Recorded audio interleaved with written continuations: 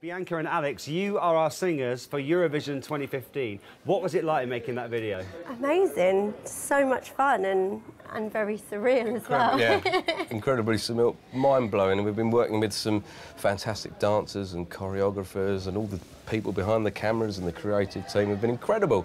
So it's been fantastic, yeah. Who wrote the song? A guy called David Mindel and um, Adrian Bax White, who we both know and really talented songwriters. Because you don't normally sing together, do you? We've never done anything live. We were working on some original music Yeah. um, together, but um, we, we've known David for a little while and he chose us to do this song. And, you know, the moment I heard it, I thought, absolutely, I'm singing on that. So how did you get to, to here today? How did you get to be our entry for this year? There was a Open submission, yeah, yeah. so whereby the public could actually enter a song as long as they had a video to go with it, and um, we got there. Yeah. You know, Did you ever think when you were entering it that you, you would get to this point where you'd be representing your country? We've always had faith in the song. It's so fun and so catchy. But yeah, it's still very sort of, we are still pinching ourselves that we're here today. So Bianca, I know that you were on The Voice last year, I was, yeah. but they didn't turn round. Didn't know. I More think for picked- them. yeah, thank you. I think I went with the wrong song. Um, but yeah, the, like everyone there was so nice, and like the crowd were amazing, and it actually sort of made me realise, oh God, I, I love performing live to a big crowd, and I came off and I was like, I want to do that again. So yeah, it was it was a good experience. And Alex, what's your background? well, uh, singer-songwriter. More recently, for the last seven years, I've been pretending to be Mick Jagger in a Rolling Stones tribute band, That's incredible. What are they called? the Rolling Clones. Right. What attracted you to the song? It's so catchy. yeah, you've got the catchiness, and you've got this fusion of the 1920s and 1930s, that kind of vibe, brought up to date with modern beats and Yeah, it's bass and- electro swing, which is a really popular genre at the moment. Yeah, it's growing, Um, growing it's a lot. getting really big, and it's something I've always been into. So when David said, "Are you up for doing electro swing song?" I was like, As soon as you hear the start of it, you think, well, yeah, I'd love to sing on This that. is such a fun Why not? song. Alex, there's a bit in the song where you kind of just go freestyle and Yeah. do a bit of scatting.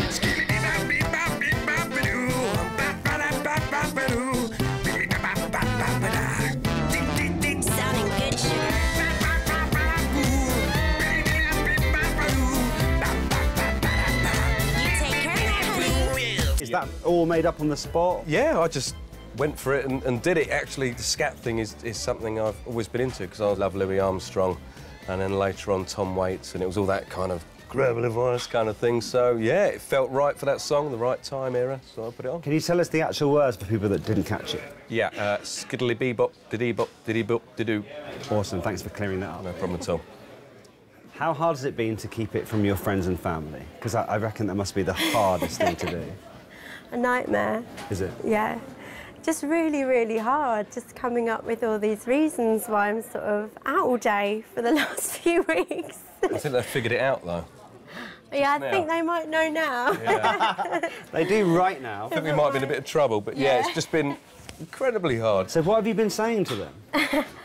I, well, they saying- know that we entered, Right. so sort of I'll mock rehearsals in case we get it. Um, Yeah. We're, we're shortlisted, but we don't know. And Well, we won't know till the last minute. Whether we, there's still another group in contention and all that kind of stuff. So Yeah. it's been So you've been keeping it quite vague. yeah, very vague. purposely so. What do you think they'll say when they know?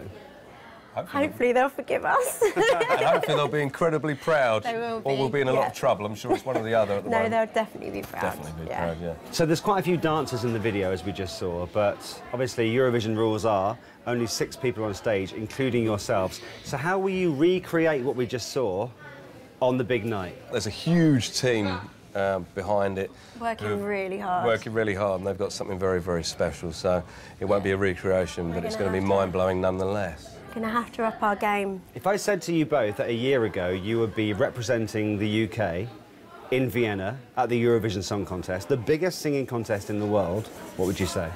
I think the fact that you're talking to me right now is crazy enough. I, I, I wouldn't have believed it for a second. It's, No, you know, me it's- neither.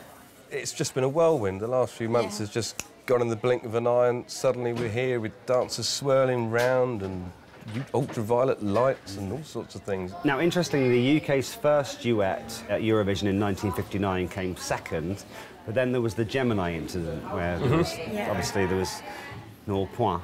So how do you feel at the moment? Is the glass half empty or, or half full? Um, well, I think it'll be third time lucky. Good answer. Absolutely. We want to make the country proud. We'll hope they'll get behind us. Yeah. Um, you know, we're going to pull out all the stops to try and wow them as best as we can. We're just going to try our best. as soon as you hear that hook of the song, it's in your head. Done, yeah. The best of luck to both of you. We love the song, and thank you, Bianca and Alex. We will see you in Vienna. Thank you very much. Thank See you you. there.